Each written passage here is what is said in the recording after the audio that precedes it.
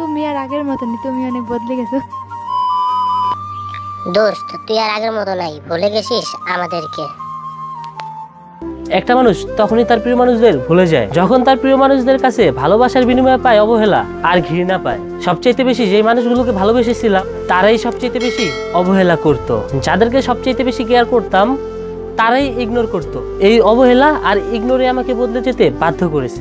প্রিয় মানুষদের জন্য নিজের জীবনের মূল্যবান সময়গুলো নষ্ট করে দিয়েছি। আর প্রিয় মানুষগুলোর কাছে আমার এস এম এস এর রিপ্লাই দেওয়ার সময়টুকুও ছিল না। তাই তো আমি বদলে গেছি। আমার সাথে রিলেশন থাকাকালীন অন্য মানুষের সাথে এস এম এস করা, তার সাথে কথা বলা আর আমি আক্সড করলেই ফ্রেন্ড এ ধরনের মিথ্যা কথাগুলো আমাকে বদলে যেতে বাধ্য করেছে। আর বন্ধু, তারা তো নতুন বন্ধু পেয়ে আমাকে ভুলে গেছে। আর যারা নতুন বন্ধুকে পেয়ে পুরানো বন্ধুকে ভুলে যায়? এরা বেমানের চাইতেও কমও নয়। প্রিয় মানুষদের খারাপ ব্যবহার, অবহেলা আর ইগনোরি একটা মানুষকে পাল্টে যেতে বাধ্য করে।